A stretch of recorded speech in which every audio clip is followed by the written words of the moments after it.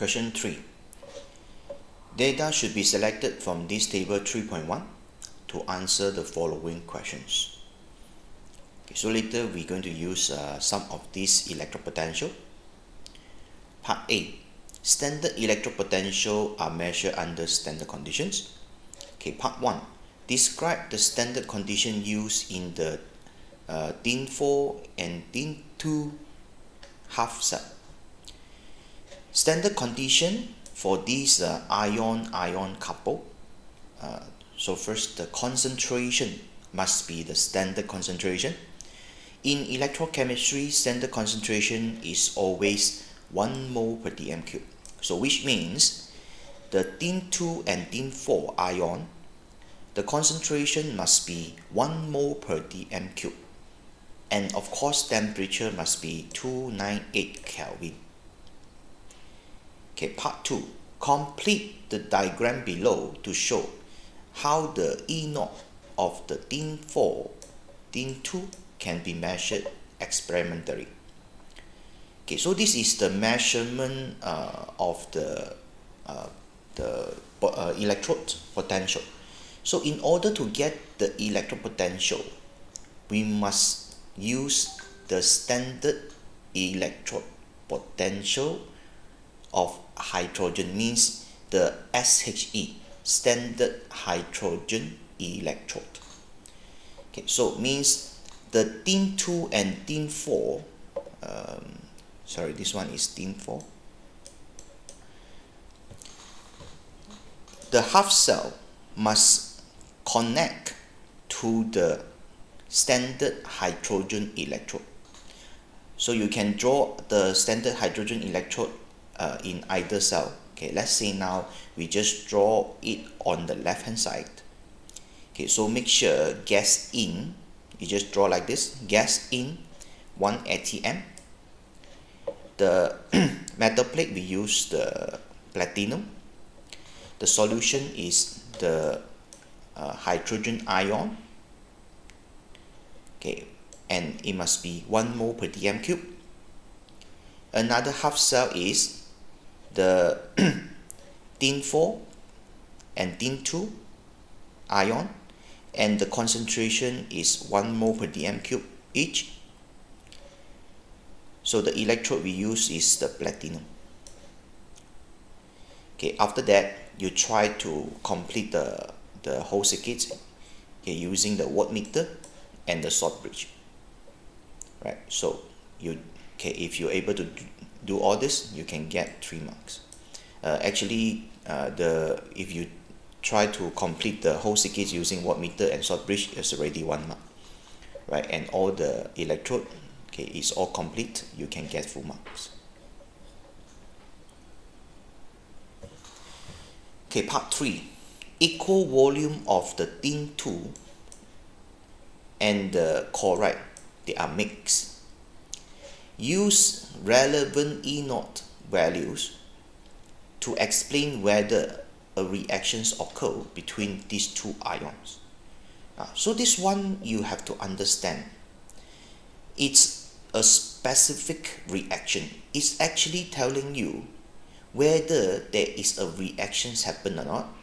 And in order to have reaction, these ions they must change. So we know that in order for the chloride to react, the chloride, the chloride must oxidize to chlorine. If the chloride now is being oxidized, the tin 2 must reduced. This is the logic uh, in this question. You must understand what they're asking. They're asking this one actually means chloride is the one that must reduce, sorry, must oxidize to chlorine, and therefore the tin 2 must reduce to the tin. Uh, this is what you need to know before you answer. Okay, since we know how the reaction works, and therefore we know that the chlorine and chloride, this one, this uh, electrode, it must be anode. because the chloride now is oxidized. Any half cell that oxidized is anode the tin 2 is the one that now reduced to, to the tin. So we know that the tin 2 and tin half cell this one must be cathode because it's reduction. This half cell is undergo reduction so it's a cathode so therefore we can predict whether there is a reactions or not. We can just calculate the E naught cell. So we know that E naught cell is equal to cathode minus anode. So since we know which one is cathode anode we can substitute the values now. So cathode is this one negative 0.14 is the tin 2 and tin half cell minus the anode. Anode is the chlorine electrode. So it's positive 1.36 okay what you get is negative 1.5 volt.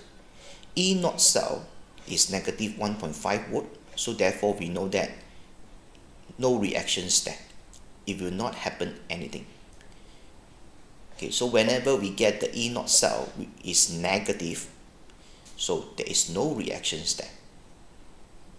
Right? Okay therefore this one actually you should know already I already explained. The possible equation must be this as I told you just now. Okay which this one the tin 2 and tin must be cathode and this one must be anode so you put these two into the E naught cell okay you get negative 1.5 so no reactions there okay so I hope you understand this question. Okay part 4 equal volumes of 1 mole per dm cube of tin 2 and acidified 1 mole per dm cube VO2 positive are mixed. Write an equations for the reaction that take place in this mixture. Okay so first we need to know the um, first species involved tin 2 and VO2 positive.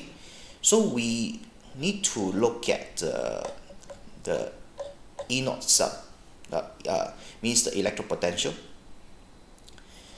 okay so for the electropotential okay is this one because uh, it started with this VO2 positive and the uh, tin 2 right? So when we try to use tin 2 uh, the better one is uh, this one tin 2 okay because this one is more positive so the VO2 positive will undergo reduction means it's more likely to gain electron. And for this tin 2 therefore it must oxidize. So that's why we don't choose this. In order for the reactions to occur the tin 2 must be uh, oxidized to tin 4 so means this tin 2 will release electrons later right to form the tin 4 okay so two electrons released. And these electrons will gains by the VO2 positive then it will form V3 positive. Okay so which means if you want to calculate the E cell yes you can. So you use 0.34 minus 0.15 you still get positive value. So this one is is a, a spontaneous reaction. Okay that's why we choose these two right okay so let's get back to this part. Okay therefore when we choose these two these are this half equation this one and this one. So VO2 positive okay will reduce to V3 positive. Tin 2 will oxidize to tin 4 this is the reactions. And we must make sure electrons same so this equation or this half equation times 2 we make sure two electrons for each equation so therefore we can sum up these two equation and we can get this right so sum up left to left right to right eliminate the electrons we'll get this overall equation. Okay, so after that, uh, now part, part B, yeah, part B. Part B is quite, uh, quite challenging. Uh, so now, it started with this uh, tin 2 chloride solution and is undergo uh, electrolysis uh, using a time and a steady current. So a mass of 2.95 gram of tin metals is produced. Okay, and the same uh, current and the time used okay, for the electrolysis of this aluminum oxide molten. Calculate the mass of aluminum metals that produce at the cathode.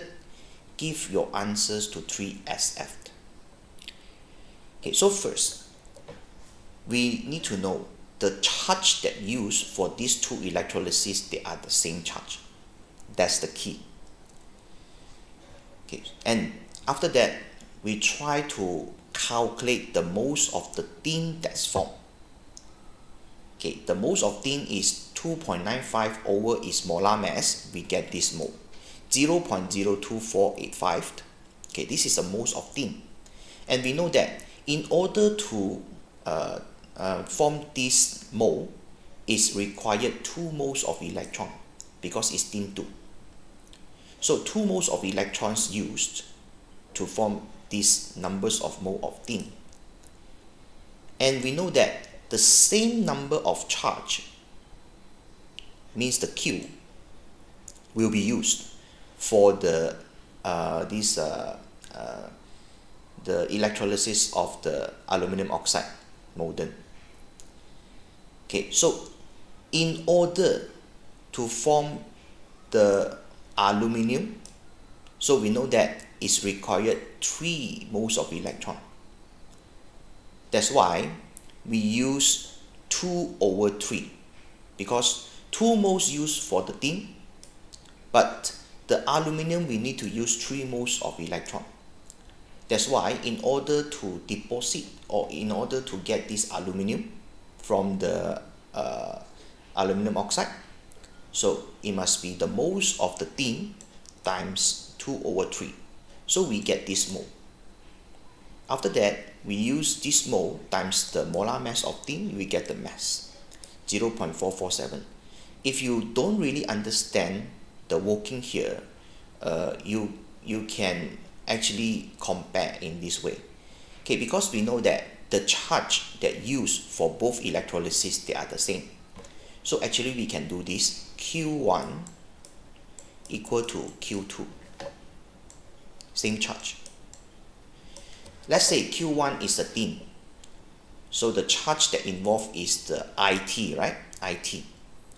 So, and we can actually use the N, Z, F. Okay, N is the most of the metals that the, the, the deposited. Z is the numbers of electrons that involved.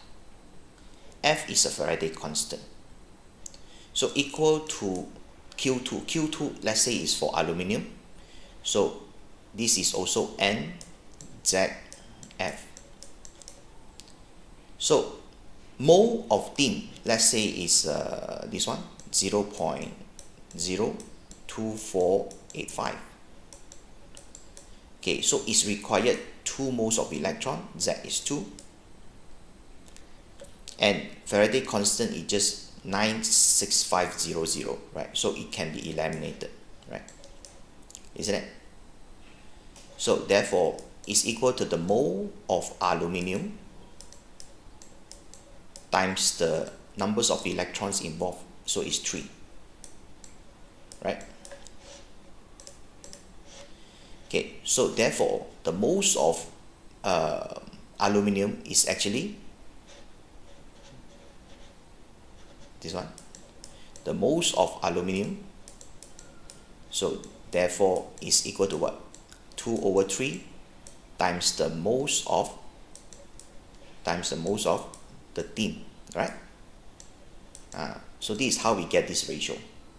Once you get the mole of aluminium again times the molar mass you get the mass. Mixture is 3SF okay that's all. Thank you